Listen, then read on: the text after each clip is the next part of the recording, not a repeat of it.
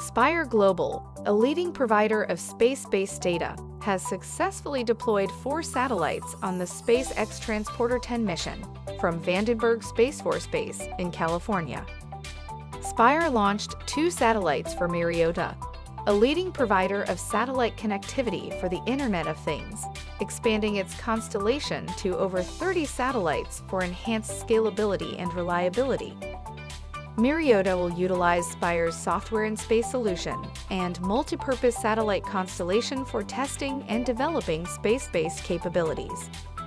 Spire also developed and deployed two satellites for Hubble Network, pivotal in showcasing the technology for Hubble Network's IoT mission to create a global satellite network accessible to any Bluetooth-enabled device, even in areas without cellular reception.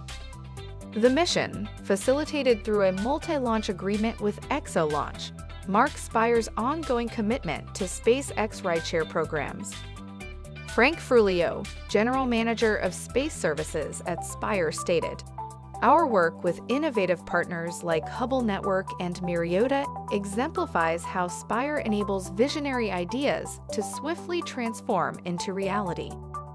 Spire Global offers access to unique datasets and powerful insights about Earth from the ultimate vantage point so that organizations can make decisions with confidence, accuracy, and speed. Shares of Spire Global trade on the New York Stock Exchange under the ticker symbol SPIR. For more information or to sign up for our free daily newsletter, visit greenstocknews.com.